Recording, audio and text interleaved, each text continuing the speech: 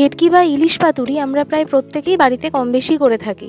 আজকে আমি বানালাম সম্পূর্ণ অন্য একটি পাতুরি, কাচকি মাছ বা চুনো মাছ দিয়ে। তার জন্য লাগছে পেঁয়াজ কুচি, টমেটো কুচি, লঙ্কা, আদা এবং রসুন।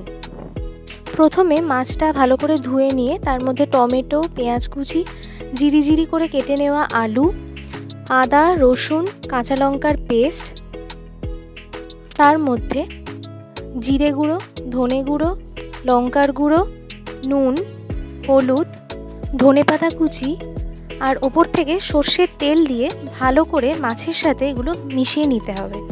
এরপর আমি একটা কলা পাতা নিয়ে সেটাকে হালকা ওভেনে সেঁকে নিয়েছি।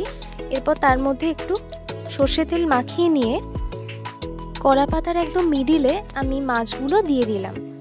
ওপর থেকে চেরা কাঁচা লঙ্কা আর কিছুটা সর্ষে তেল দিয়ে কলা পাতা চারপাশটা একটু মুড়ে নিয়ে কড়াইয়ের মধ্যে বসিয়ে দিলাম একদম লো ফ্লেমে এটা পুরোপুরি কুকড হতে সময় লাগবে আধা ঘণ্টা থেকে পঁয়তাল্লিশ মিনিট মতো। এরপর নামিয়ে নিয়ে গরম ভাতের সাথে সার্ভ করুন কাচকি মাছের পাতুরি।